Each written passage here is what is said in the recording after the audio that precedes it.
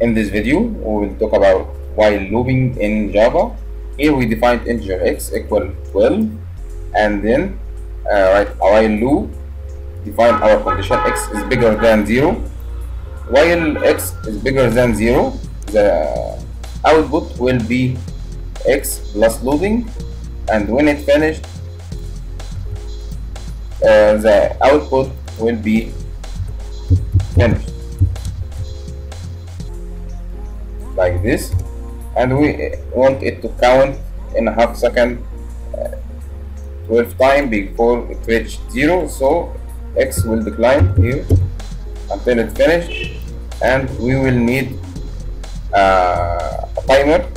So we define thread y equal new thread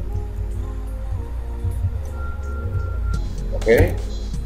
And then we here define sleep, method for 500 millisecond half second. Okay.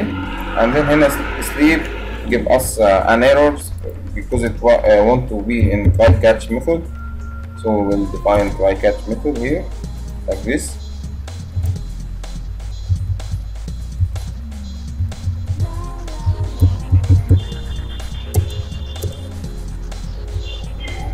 okay?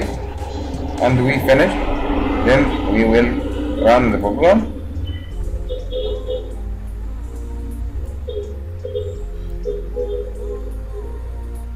Counting from 12 to 0 and try finish